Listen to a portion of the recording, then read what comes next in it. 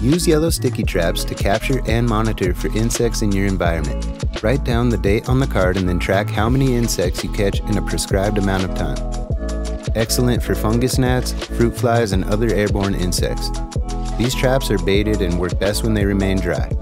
One pack will cover 10 containers for about 4 weeks.